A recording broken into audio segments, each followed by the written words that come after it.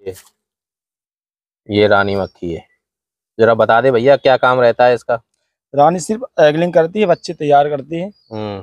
हाँ केवल रानी एगलिंग करेगी? हाँ बच्चे तैयार बच्चे तैयार करेगी। कितनी एगलिंग कर देती है एक दिन में ये? ये कम से कम एक दिन में तीन हज़ार कर देगी। तीन हज़ार अंडे? हाँ जी। तीन हज़ार अंडे के आसपास एगलिंग कर देती है।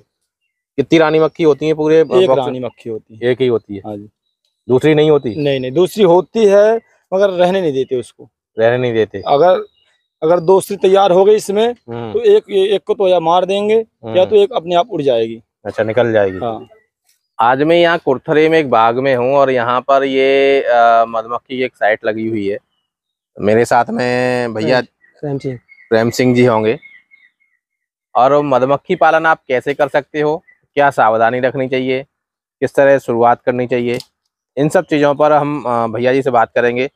कि जो भी अगर कोई मधुमक्खी पालन करना चाहता है तो कैसे कर सकता है? क्योंकि मधुमक्खी पालन एक ऐसा व्यवसाय है, यहाँ पर आप खेती किसानी के साथ साथ इसको कर सकते हो।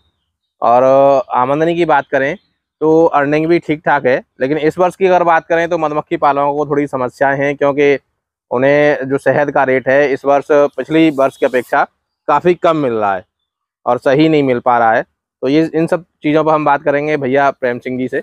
आप जो मधुमक्खी पालन है करीब कितने समय से कर रहे हो? हम करीब करीब होंगे दस बारह साल हो गए। दस बारह साल से हाँ जी। कर रहे हैं। तो उस समय की शुरुआत की बात करें तो उस समय करीब कितने बॉक्सेस से आपने शुरुआत की थी? हमने किया था स्टार्ट तीस बॉक्स से। तीस बॉक्स से? हाँ जी। आज के समय में बात करें तो कितने होंगे करीब? आज के समय हमारे पास है ढाई हज़ार बॉक्स से। ढाई हज़ार बॉक्स है हाँ जी। मतलब दस साल में आप तीस बॉक्स से ढाई हज़ार बॉक्स पर आ गए। जैसे आपने तीस बॉक्स से शुरू किया था तो उस समय करीब करीब क्या लागत आई थी आपकी तीस बॉक्स से शुरुआत करने तीस बॉक्स खरीदने में मेरी लागत आई एक लाख रुपए की। उस समय? उस समय। अगर आज के समय में कोई शुरू करना चाहे तो कम से कम कितने बॉक्सेस से शुरू करे वो व्यक्ति? नहीं तो कम से कम कम से कम सौ बॉक्स तो होनी चाहिए कम से कम। शुरुआत में? शुरुआत में। अब चालीस पचास बॉक्स लेके करोगे तो कोई प्रॉफिट नहीं होता इसमें खर्चा बहुत होता है। खर्चा क्या क्या खर्चा हो जाता है? थोड़ा सा एक खर्चा क्या है? अब बॉक्स ले लो। आप हम्म। मधुमक्खी खरीदोगे कम से कम साढ़े तीन सौ तीन सौ रुपए का छत्ता मिलता है एक मक्खी का। एक मक्खी का। एक मक्खी का। और एक बॉक्स में एक बॉक्स में दस की कॉलोनी आती है दस फ्रेम आते हैं। हम्म। और दस फ्रेम लगा लो कितने के हो गए? तीन सौ रुपए से तीन हज़ार रुपए का बॉक्स हो गया। प्लस इसमें बॉक्स लगेगा।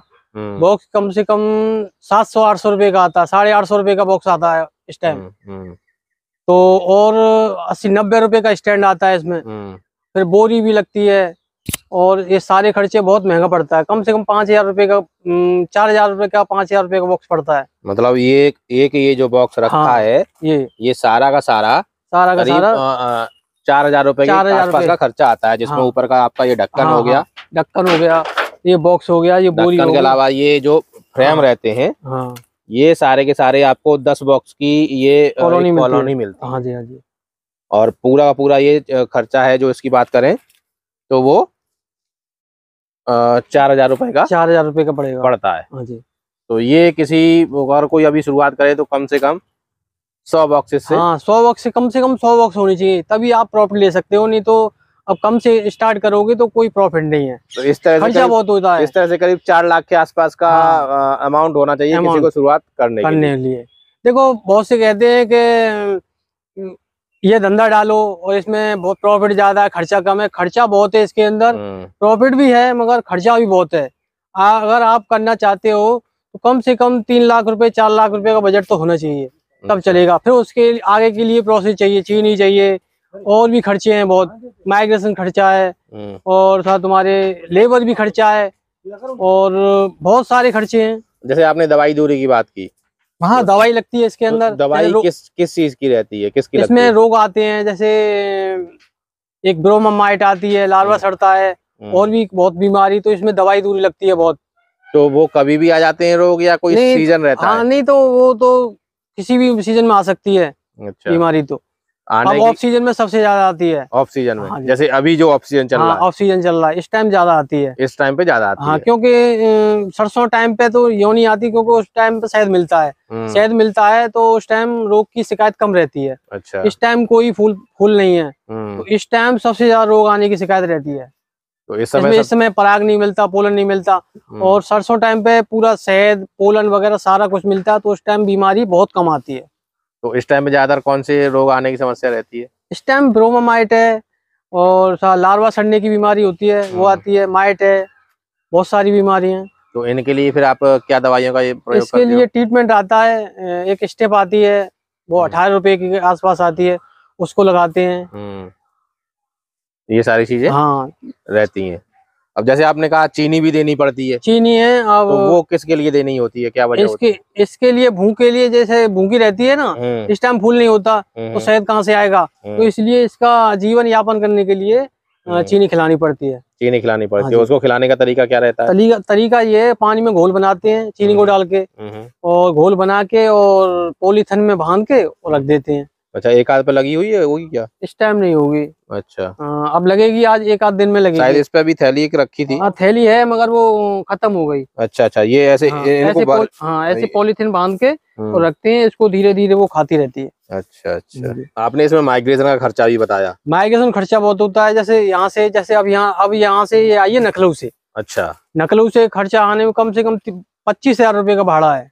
लखनऊ से आगरा तक? आगरा तक का। हाँ। अब इसमें चीनी का खर्चा है अब ये चार सौ बक्से रखे हैं तो इसमें चार सौ बक्सों में चार कट्टे चीनी लगती है। चार कट्टे चीनी का मतलब होगा आठ हज़ार रुपए की चीनी लगती है हर आठ दिन के अंदर। हर आठ दिन हाँ महीने में चार चीनी लगती हैं। हम्म, तो चार चीनी लगा लो आप बत्तीस हज़ार रुपए का महीना पड़ता है। हम्म, बत्तीस हज़ार रुपए का तो ये खर्चे खर्चा और लेबर खर्चा चलता है अलग। अच्छा। एक बॉक्स से शहद की बात करें तो शहद कितना मिल जाता है? शहद सीज़न सीज़न टाइम में कम से कम एक बार में पाँच किलो शहद दे देता है। पाँच किलो शहद दे हाँ देता है एक बॉक्स एक बॉक्स कितने दिनों में? वो देता है आठ दिन में। आठ दिन में। हाँ जी। ऑफ़ सीज़न कितने टाइम तक रहता है? ऑफ़ सीज़न रहेगा कम से कम आठ महीने का सात महीने का। आठ सात महीने का ऑफ़ हाँ। सीज़न रहता है? अब यहाँ से मार्च के बाद ऑफ़ सीज़न ही आ जाता है। तो ये आपका सीज़न करीब करीब ये रहेगा नवंबर तक रहता है। नवंबर तक ऑफ़ सीज़न रहता हाँ है? पच्चीस नवंबर तक इसका जो कुछ सरसों चलती है तो उस टाइम कुछ आता है। नहीं तो जैसे बीच में लोग माइग्रेशन करते हैं जैसे इधर बदायूं साइड ले जाते हैं या फिर ये ले जाते हैं मगर कुछ नहीं मिलता। वैसे ही माइग्रेशन खर्चा बढ़ाना है और कुछ नहीं है। अच्छा। हाँ ले जाते हैं पर मगर क्या है इससे क्या है जैसे माइग्रेशन करते हैं तो हम्म, मक्खी में प्रोग्रेस हो जाती है मक्खी मतलब बढ़ने लगती है। हम्म, हम्म, ये होता है जैसे बाजरे के टाइम पे मक्खी माइग्रेशन करती है तो बाजरे के टाइम पे मक्खी बढ़ती है। उसमें सबसे ज़्यादा बाजरे के जो पोलन होता है उससे सबसे ज़्यादा प्रोग्रेस करती है मक्खी। उससे डेवलप करती है। जैसे आपका बक्से सौ हैं जैसे सौ हैं तो उसके डेढ़ सौ बक्से हो जाएँगे उस टाइम क्योंकि उसमें माइग्रेशन करते हैं और उस टाइम पोलन इतना बढ़िया आता है तो इससे मक्खी ग्रोथ करती है तो डबल हो जाता है। अच्छा अच्छा। मतलब अगर सौ बॉक्स हैं तो वो डेढ़ सौ हाँ डेढ़ सौ डेढ़ सौ बक्स माइग्रेशन करते वो उसका डिवीज़न करते हैं उस टाइम हम्म। तो डिवीज़न से मक्खी बढ़ जाती है। जैसे आपने कहा कि भाई सात आठ महीने का ऑप्शन ज़्यादातर रहता है तो तीन चार महीने में करीब करीब सौ बॉक्सेस की बात करें तो कितनी आमदनी हो जाती होगी सौ बॉक्सेस सौ बक्सों में? सरसों टाइम पे करीब करीब लगा लो तुम सौ बक्सों में करीब करीब चार पाँच राउंड निकलते हैं। चार पाँच राउंड में लगा लो करीब करीब बीस बाल्टी का एवरेज आ जाता है। एक राउंड का? एक राउंड का। तो बीस बाल्टी या करीब सौ सवा अगर सीज़न बढ़िया चलता है तब। अगर इस टाइम तो सीज़न इस इस साल तो सीज़न बिल्कुल ऑफ़ रहा है बिल्कुल। सरसों का भी? सरसों का भी। अच्छा। डाउन रहा है मगर जब बढ़िया सीज़न लगता है तो सौ बाल्टी आराम से देती है निकाल के। अच्छा अच्छा। हम्म। रेट क्या मिल जाता है ये सौ रेट इस इस- रेट का क्या क्या रेट तो पिछली साल डेढ़ सौ था। हम्म, अब इस साल तो बिल्कुल रेट डाउन है। इस साल तो कोई शहद उठाने वाला ही पैदा नहीं है। जैसे मान लीजिए अगर कोई व्यक्ति नए पहली बार शुरुआत करता है सौ बॉक्स से जी। तो करीब चार हज़ार रूपए का आप बॉक्स बता रहे हो तो चार लाख का तो वो पड़ गया जी बिल्कुल ठीक। और आठ महीने की बात करें तो सोलह सौ रुपए बॉक्स से अ, कितना हो गया? सोलह सोलह हज़ार एक लाख साठ हज़ार वो हो गए हाँ सौ बॉक्स के। हाँ एक लाख साठ हज़ार ही खर्चा हुआ ना? हाँ जी हाँ जी। तो पाँच लाख साठ हज़ार रुपए का उसका टोटल खर्चा टोटल खर्चा है। अब चार महीने में वो कितनी इनकम कर लेगा कि उसे थोड़ा बहुत बच सके या क्या स्थितियाँ बनती है? जैसे पाँच लाख साठ हज़ार का खर्चा अगर तो हो ही शहद की रेट बढ़िया रहती है तो वो प्रॉफिट कमा सकता है। अगर यही रेट रहेंगी तो कोई प्रॉफिट नहीं घाटे का जैसे मान लीजिए पिछली साल डेढ़ सौ का रहा था हाँ। रेट तो डेढ़ सौ के हिसाब से बात करें तो जो तीन चार महीने का ठीक ठाक सीज़न है उसमें हाँ वो कितना पैसा कमा सकता है? जिससे कि उसकी ये लागत पाँच लाख साठ हज़ार की निकल जाए और उसे प्रॉफिट भी हो जाए। प्रॉफिट हो जाएगा। अगर डेढ़ सौ रुपये की रेट रहेगी तो करीब करीब सीज़न लगता है तो कम से कम नहीं तो जो सौ बाल्टी निकलती है वो सवा सौ बाल्टी निकाल के देगी। हम्म, अगर सीज़न बढ़िया लगता है तो। अगर सीज़न नहीं लगे ये सब कुदरत का खेल है। सीज़न अगर बढ़िया लगता है तो डेढ़ सौ रुपये की से कोई घाटा नहीं है। और जो आप इस इस रेट में तो कुछ नहीं बचता बी कीपर को। बिल्कुल समाप्त हो गया बिल्कुल इस साल तो। मैं ये जानना चाह रहा हूँ जैसे मान लीजिए पाँच साढ़े पाँच लाख रुपए कोई आदमी लगाए तो साल भर में वो कितना कमा लेगा साढ़े पाँच लाख रुपए लगाने के बाद में? साढ़े पाँच लाख रुपए कमाने के लिए कम से कम उसको तो डेढ़ दो लाख रुपए का तो मुनाफा हो जाएगा। मतलब साल भर में शहद बेच के वो सात आठ लाख रुपए तक की इनकम हाँ, कर सकता इन- है जिसमें से साढ़े पाँच लाख रुपए उसकी हाँ। जो लागत वगैरह है हाँ जी हाँ जी। वो कट जाएगी हाँ। पहली साल। पहली साल में। और दूसरी साल से मुनाफा बढ़ जाएगा क्योंकि पहली हाँ। साल तो भाई बॉक्सेस पे भी हाँ। उसका खर्चा रहा। बिल्कुल बिल्कुल। तो पहली साल में आराम से अगर सौ बॉक्सेस से आप शुरुआत करते हो हाँ जी। तो एक से डेढ़ लाख रुपए तक कमा सकते हो। कमा सकते हो।